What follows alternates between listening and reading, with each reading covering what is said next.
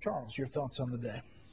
Well, where does one begin? Obama says in America there is a failure to appreciate Europe's leading role in the world. Well, maybe that's because when there was a civil war in Europe's doorstep in the Balkans and genocide, it didn't lift a finger until America led. Maybe it's because when there was an invasion of uh, Kuwait, it didn't lift a finger until America led. Maybe it's because with America spending over half a trillion a, a year keeping open the, the, the, the, sea lanes and defending the world, Europe is spending pennies on defense. It's hard to appreciate an entity's leading role in the world when it's been sucking on your tit for 60 years, as Europe has, regard to the United States, parasitically.